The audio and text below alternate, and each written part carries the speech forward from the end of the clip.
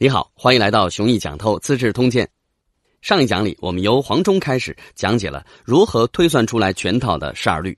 有了十二律，这一讲我们讲讲古人是怎么推算长度、容积、重量、时间这些度量单位了。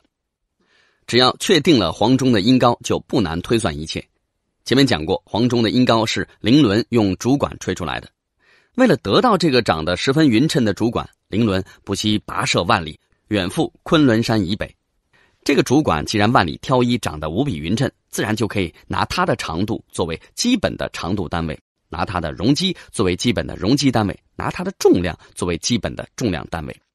虽然这只是很简化的说法，但确实就是《汉书·律历志》给出的一切度量单位的推算方式。具体来说，还要借助一种叫做据数的鼓励。现在很难见到这种东西了，你可以把它当成麦粒就好。巨鼠像麦粒一样长得呢，有大有小，要专门挑出那种不大不小的，用它填进那根竹管，填满之后再倒出来，数出一共多少粒，再拿这些巨鼠作为微调单位去决定各种度量标准。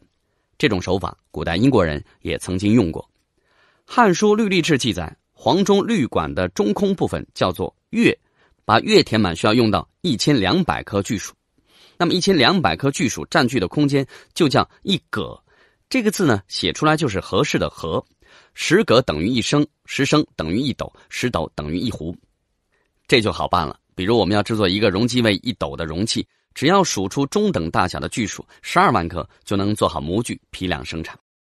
确定重量单位也不难，既然一根黄钟竹管可以装一千两百颗巨鼠，那就把一千两百颗巨鼠的重量定为十二铢。我们今天还很常用的重量单位两，就是从十二铢来的，因为一两的重量是十二铢的两倍，所以叫做一两。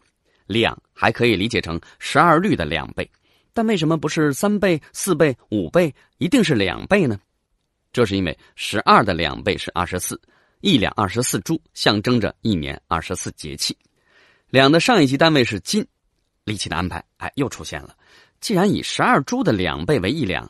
按说就应该以一两的两倍为一斤，要么就用十进制，十两为一斤。然而事实上呢，竟然以十六两为一斤，这又是为什么呢？律历志有解释说，年份有春夏秋冬四季，方位有东西南北四方，以四季乘以四方，数值就是十六。这里面啊还有奥妙，如果以十六两为一斤的话，那么一斤就有三百八十四铢，而三百八十四是一个极其深刻的数字。因为易经有六十四卦，每一卦都是由六爻构成的，两个数字相乘，得出易经一共包含三百八十四爻。再看金的上级单位叫做钧，千钧之力的钧，进位关系竟然又变了，既不是十六，也不是二十四，而是三十。这个很好解释，一个月有三十天嘛。钧的上级单位是旦，四钧为一旦，呼应着一年有四季。这样一来，一旦折合成斤，就是一百二十斤，正好一年有十二个月。时间单位的推算也要从音律上来，这就是所谓以律起历，意思是根据音律推算历法。真正的麻烦来了，在各种度量衡里，无论长度、容积还是重量单位，其实有没有黄钟律管并不重要，只要大家可以约定俗成，达成一致就可以了。但一年到底有多少天？这个呢，可没法约定俗成，必须测算出地球公转和自转的关系，并不是大家约定一年有一百天，一年啊就真的可以有一百天了。对于古人来说，推算历法绝对是一门很高深的学问，高深到什么程度呢？《汉书·律历志》有记载说，汉武帝元丰七年，汉朝都已经建国一百零二年了，这一个多世纪以来，历法一直都在凑合用，小车不倒，只管推。这时候呢，终于推不动了，必须得改。一群学术专家研究了好一阵子，向皇帝做汇报。结论有两个：第一，立法已经到了不改不行的地步；第二，但我们不知道该怎么改。办法总比困难多。汉武帝于是广招天下人才，包括民间高手。这些人里有擅长天文观测的，有精通历数算法的。其中担纲的是两位算法大师，一个叫邓平，一个叫落下闳，先后演算得出了一致的结果。这是元丰七年，但汉武帝为了表示万象从此更新，改年号为太初。就这样，元丰七年才过了一半，就变成了太初元年。这种事情特别能给编年史添麻烦。所以我们看《资治通鉴》，元丰六年之后就是太初元年，根本就不存在元丰七年。汉武帝既然改年号为太初元年，新的这部历法就叫太初历。今天我们的中学历史课本里边，太初历是一个重要的知识点，但课本里不会仔细讲这部历法是怎么推算出来的。《汉书·律历志》虽然记载了落下红的算法，但不知道为什么前后内容并不一致。大体上说，首先还是要把吹出黄钟音高的那根竹管找来，量出它的容积为八十一立方寸，或者是量出它的长度为九寸，再用九这个数字乘以自身，九九八十一。于是把一天分为八十一分，接下来的花式演算，处处以八十一为基础。所以这部太初历还有一个别名叫八十一分律历。具体的演算方法，我们来看《汉书·律历志》的一段原文。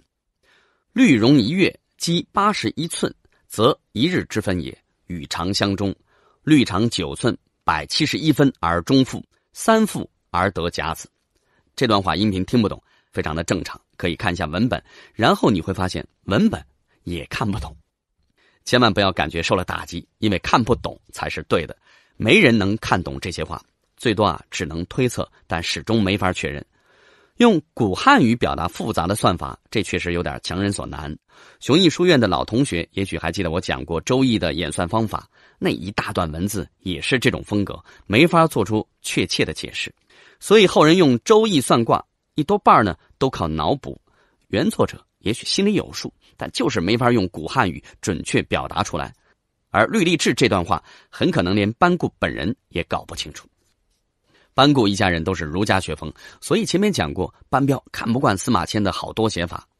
班固写《汉书》，又继承了父亲的这一套价值取向，努力要把被司马迁引入歧途的史学风尚拉回正道。但假如司马迁有机会和班固辩论的话，他应该会说：“你这个呀，叫狗拿耗子，多管闲事。”因为在古代传统上，写历史是专业史官的事，不是儒家的事。司马迁出身于正经的史官世家，而在史官的职业技能里，不但要会写历史，还要懂天文历算。以司马迁的水平，让他制定一部历法，他确实没这个本事。但历法知识毕竟是他职业素养里的一项基本功。天文历算是史家的基本功，不是儒家的基本功。